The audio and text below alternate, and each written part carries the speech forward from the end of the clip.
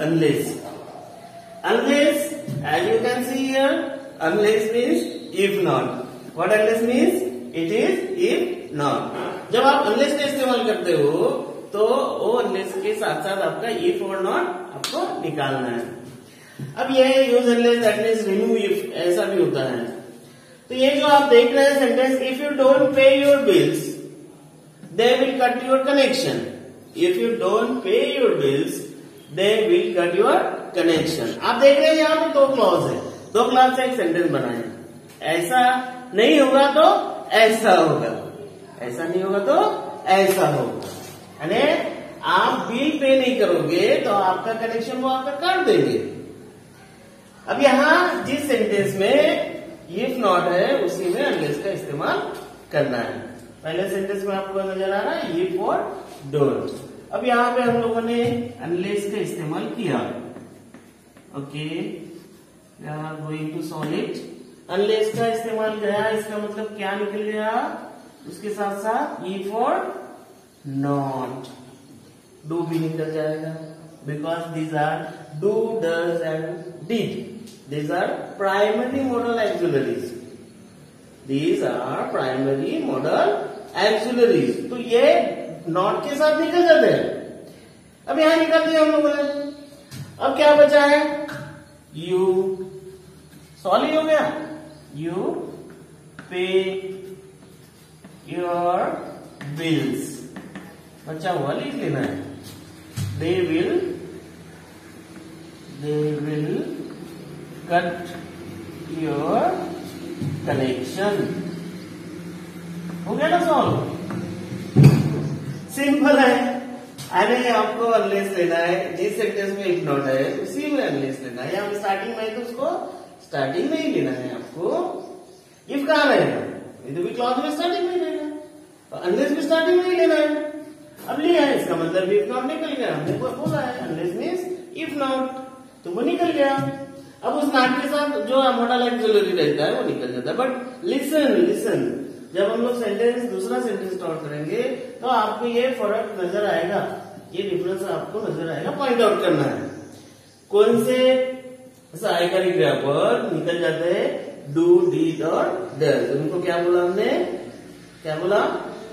क्या बोला? Primary model axillary वही निकलते हैं। अन्यथा दूसरे मॉडल एक्सिलरीज रहेंगे। एमेजार वॉजवेयर हैज़ वो नॉट के साथ नहीं निकलते। चलो सेकंड सेंटेंस में अब यहाँ पे पहले सेंटेंस नहीं है। डोंट गो देयर डोंट है इफ़ नहीं है सेकेंड क्लॉज में है if you are not sure if भी है और नॉट भी है है ना? तो अब इसको सॉल्व करते हैं। पहला सेंटेंस भी जैसे कि वैसा लिखना पड़ेगा। डोंट गो देयर यहाँ अनलेस लेना पड़ेगा और अनलेस लेते समय यहाँ कॉमन ही आएगा। यहाँ अनलेस से दोनों को जोड़ना है, जोड़े हुए।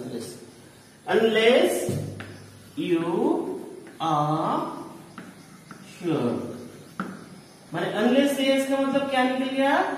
इफ़ एंड एंड नॉट मैंने पहले ही कहा कि एमेजॉन वॉजर देंगे तो उनको नॉट के साथ नहीं निकालना है, उनको लेना है क्या हमें? और ये टूल था तो यहाँ से हम लोगों ने, हम लोगों ने क्या किए थे?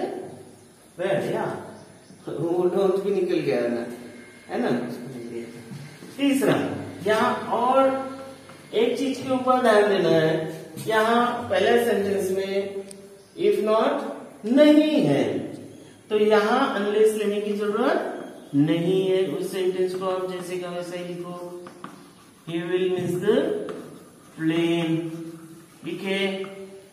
फिर, अभी दूसरे सेंटेंस में दूसरे क्लॉज में इफ़ नॉट है, उसकी जगह हमने अनलेस का इस्तेमाल किया। तो क्या निकल गया? इफ़ एंड देन नॉट बचा क्या है? ही है और हरी है। और ये लिखते समय, ये प्रेजेंट सिंपल की बात में आ गए हो प्रेजेंट सिंपल में आ गए।